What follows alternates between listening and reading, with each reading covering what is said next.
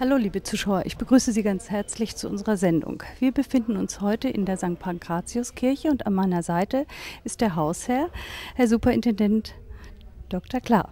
Grüße Sie, schön, dass Sie da sind.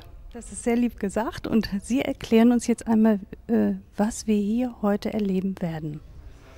Ja, wir haben ja ein Jahr der Bibel, äh, beide großen Kirchen, die katholische und die evangelische Kirche zusammen, ein Jahr der Bibel ausgerufen. Und wir werden heute hier erleben, dass wir eine Hannover-Bibel abschreiben. Das heißt, die Stadt Hannover hat eine, ein Projekt initiiert, da durfte ich dabei sein, das Erarbeiten dieses Projektes begleiten und so macht auch der Kirchenkreis Burgdorf an diesem Projekt mit und haben wir heute also eine Aktion und viele werden kommen und abschreiben. Unter anderem auch die Ministerin für Soziales, Frau Dr. von der Leyen und Herr Dr. Albrecht werden gemeinsam heute eine Seite aus der Bibel hier abschreiben. Ich freue mich, dass Sie das hier tun, denn Sie haben eine große Verbindung zu dieser Kirche. Sie haben hier viele Gottesdienste gefeiert, schöne Gottesdienste, aber auch traurige. Und Sie haben sie beide gerne gesagt, jawohl, da machen wir mit und unterstützen diese Aktion, um damit auch noch andere einzuladen hier dann eine Seite der Bibel abzuschreiben. Wenn Sie die schönen Seiten sagen, es ist die Hochzeit von Frau Dr. Leyen und die traurige äh, eben, dass die Mutter hier beerdigt wurde, beigesetzt. Die Trauerfeier hier in dieser Kirche, ganz genau. Frau Dr. Albrecht war lange Jahre, sogar 18 Jahre im Kirchenvorstand? Ja, eine wunderbare Kirchenvorsteherin. Ich weiß das zwar nicht aus eigener Anschauung, aber aus vielen Erzählungen und man erinnert sich gerne an sie und sie hat sehr viel bewegt in dieser Gemeinde. Sie fehlt uns einfach, muss man so sagen. Mit ihrem ganzen Enthusiasmus, den sie immer aufgebracht hat für Dinge, hier zur Gestaltung auch beigetragen hat, das fehlt.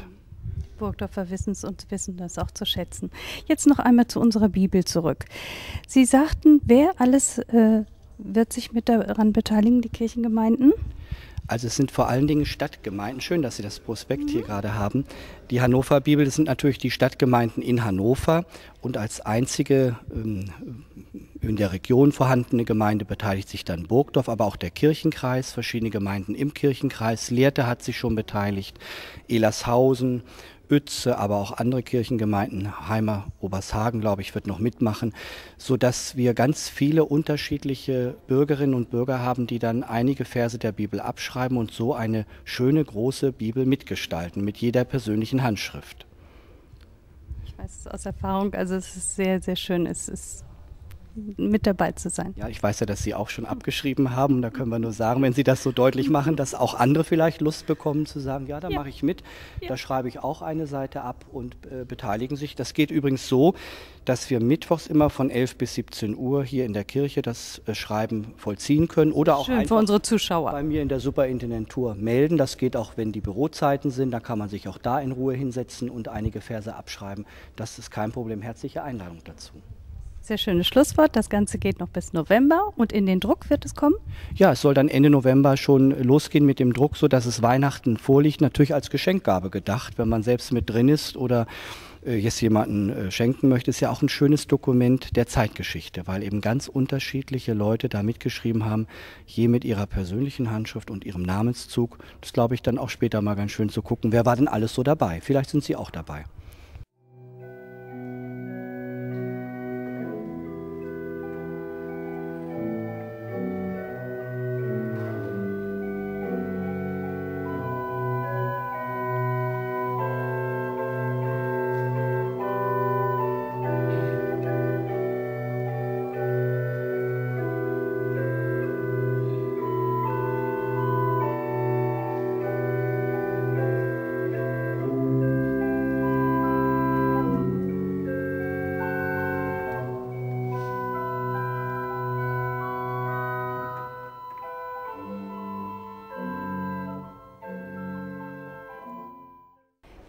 Ich durfte den 1. Korinther 12, die Verse 5 bis 7 abschreiben. Es sind verschiedene Gaben, aber es ist ein Geist. Und es sind verschiedene Ämter, aber es ist ein Herr. Und es sind verschiedene Kräfte, aber es ist ein Gott, der da wirkt alles in allen. Und in einem jeden offenbart sich der Geist zum Nutzen aller. Ja, und bei mir ist es auch der 1. Korinther 11, Zeilen 23 bis 25. Denn ich habe von dem Herrn empfangen, was ich euch weitergegeben habe.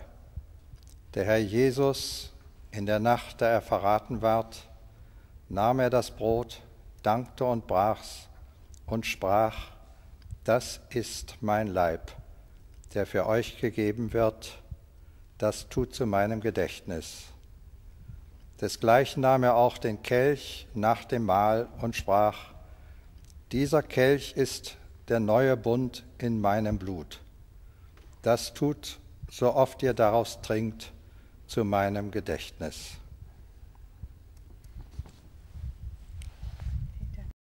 Frau Dr. von der Leyen, ich begrüße Sie ganz herzlich. Guten Tag. Haben Sie das empfunden, wenn man handschriftlich die Bibel schreibt? Was geht in einem vor? Ich muss Ihnen ganz ehrlich sagen, ich war richtig aufgeregt und ehrfürchtig. Man hat ein wunderschönes Blatt vor sich.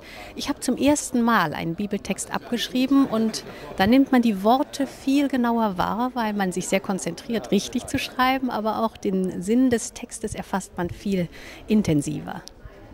Und da wir nun die Ministerin zu Gast haben, wie äh, sieht Ihr Aufgabengebiet aus und wie sieht es für die Zukunft aus?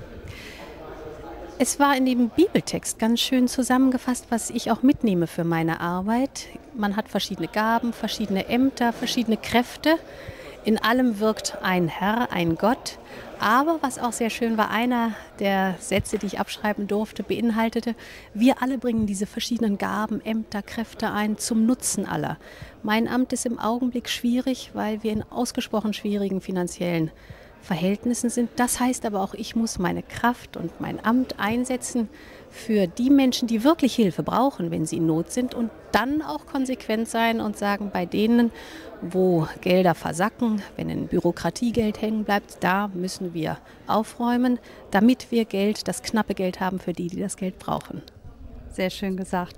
Und jetzt hätte ich noch mal gerne für die Zukunft. Äh, sie werden sehr, sehr, sehr äh, gut immer beschrieben mit ihrer Arbeit und ähm, viele hoffen, dass es eventuell auch einmal eine Bundeskanzlerin in Zukunft gibt. Das ist sehr charmant, dass Sie das sagen. Glücklicherweise habe ich sieben zauberhafte Kinder in einem Dörfchen vor Hannover, die mich dringend brauchen und dabei überlassen wir es mal. Ich bin eine glückliche Landesministerin. Ich habe die große Freude, einen tollen Chef zu haben, den MP Wulff und ein gutes Kabinett. Und ich denke, ich sollte mich jetzt auf meine Aufgaben hier konzentrieren. Das wünschen wir Ihnen auch und, und dass alles gut gelingt, aber für die Zukunft noch viel, viel mehr Erfolg. Danke vielmals.